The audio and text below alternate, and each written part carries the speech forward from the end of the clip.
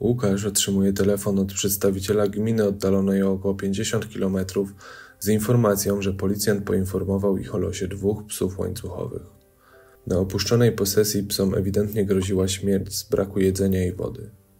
Sam bezskutecznie próbował odnaleźć właściciela zwierząt, aby skazać go za działalność przestępczą. Psy pilnie potrzebowały natychmiastowej pomocy.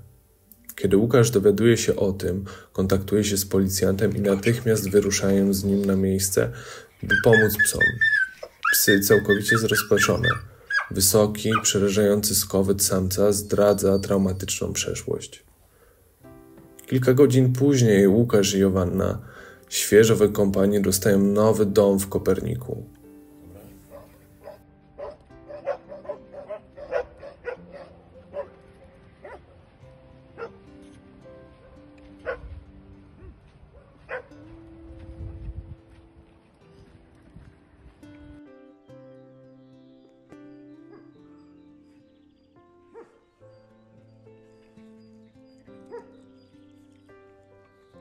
No.